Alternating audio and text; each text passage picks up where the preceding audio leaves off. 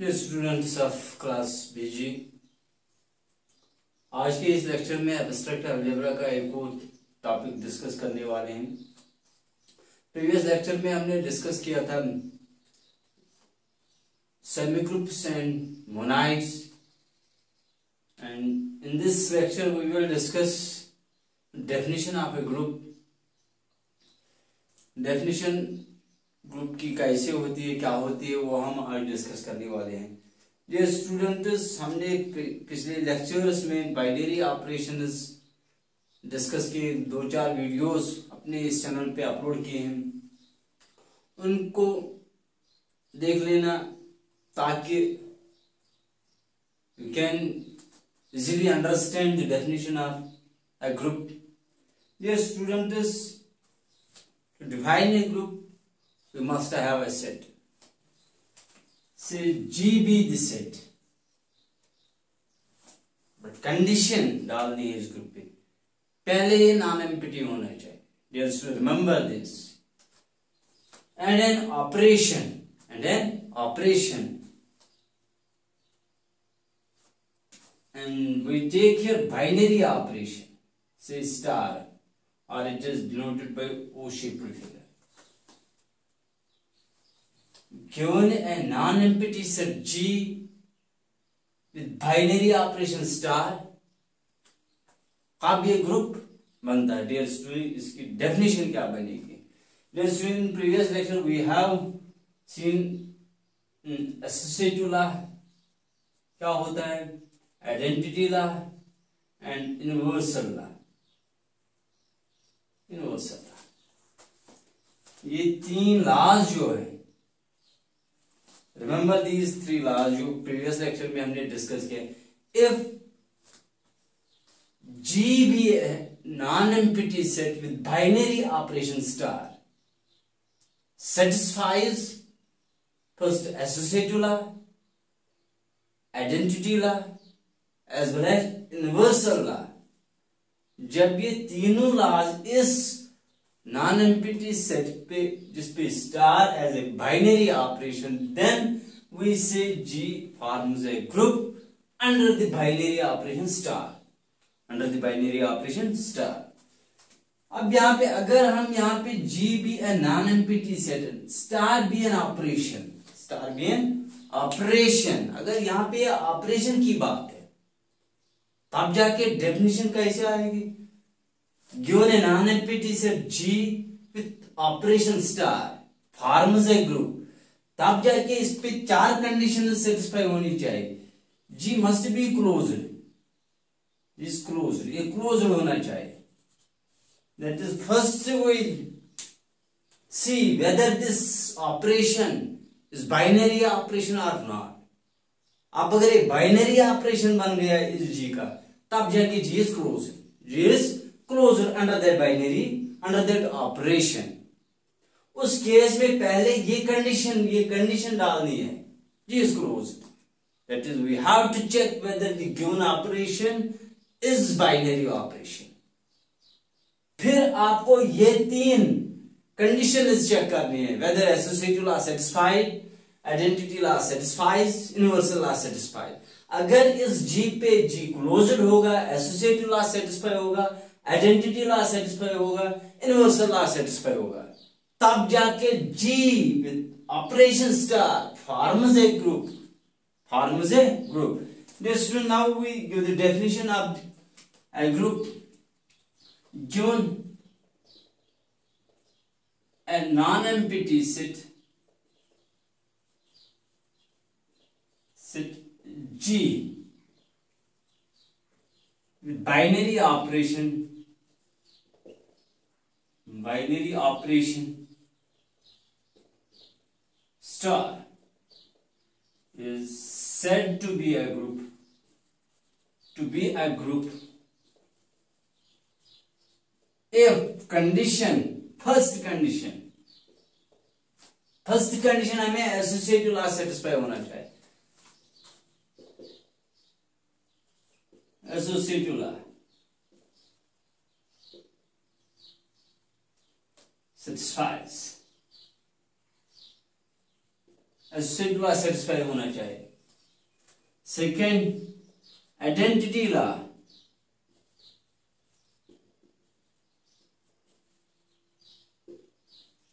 and C that is third one is universal law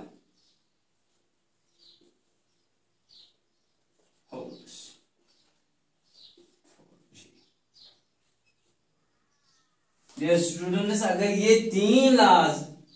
एक non empty set पे satisfy होंगे under the binary operation star then we say G forms a group under the operation star and is denoted by, and is denoted by G star formula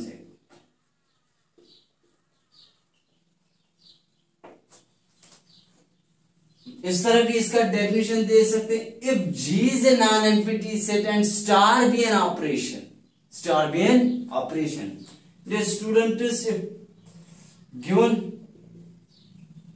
G be a non-empty set and star is an operation, then G star is said to be a group to be a group if it satisfies if it satisfies satisfies first condition closure law closure law ये हमने previous lecture में discuss किया closure law क्या होता है if we take two elements of a given set and take the operation if the resultant also becomes the member of that particular set then we see that particular set is closed if this happens for each and every element of the given set condition agar satisfy hogi that is associative law third one one agar third one identity law fourth one that is universal law dear students अगर हमारे पास ये चीज़ें, एक set के लिए satisfy होंगी, ये last satisfy होंगे, we say that particular set forms a group under that operation यहाँ पे जो फ़र्स्ट हमने डिस्कस किया G forms a group under the binary operation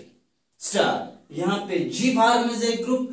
under the operation, star. यहाँ पे एक कंडीशन एक्स्ट्रा डाल दी है that is closure law condition डालनी है because we first see whether the operation is binary operation or not remember this if you have given binary operation you have to check only three conditions so that the non-empty set forms a group. If we have a non-empty set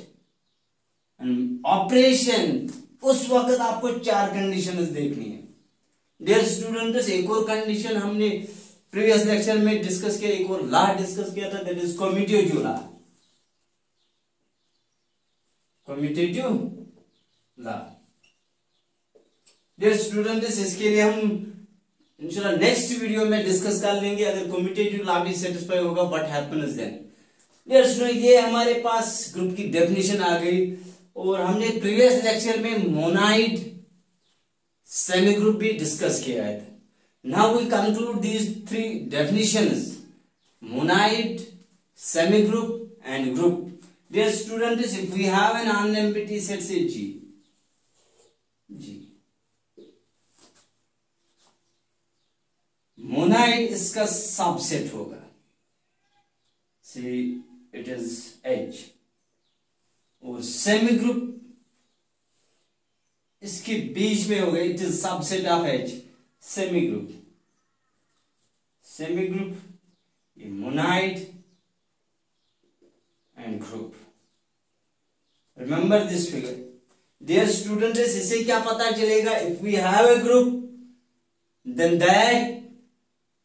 set is necessary monoid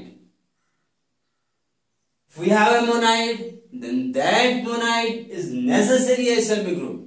And reverse में semigroup is not always monad. Semigroup हमेशा monad बन नहीं सकता है इसी तरह monoid हमेशा group नहीं बन सकता है ग्रुप से होके मोनाइड मिलेगा means group implies monoid monoid implies semi group लेकिन semi group does not imply monoid and monoid does not imply group dear students इसके लिए आप इजिली एग्ज़ाम्पल एक एग्ज़ाम्पल हम लेंगे अगर हम नेचुरल सेट लेंगे set of natural numbers clearly set up natural numbers under addition under addition is a semi group, is a semi group. इसके बाद अगर हम थोड़ा एक्स्ट्रा इसमें ऐड कर लेंगे। That is integers sorry for this whole numbers